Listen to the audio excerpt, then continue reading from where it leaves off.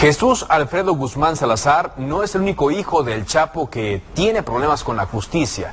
En 2005, Iván Archibaldo Guzmán, conocido como el Chapito, fue detenido también en Zapopan por la Policía Municipal.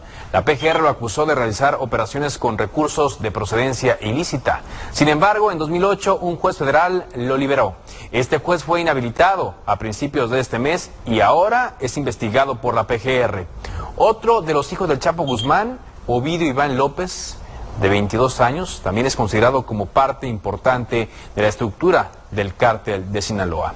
En mayo de 2008, otro hijo del Chapo, Edgar Guzmán López, fue asesinado en Culiacán, Sinaloa, durante un enfrentamiento entre rivales en un centro comercial. La Agencia Antidrogas de Estados Unidos felicitó al gobierno de México por la captura de Alfredo Guzmán.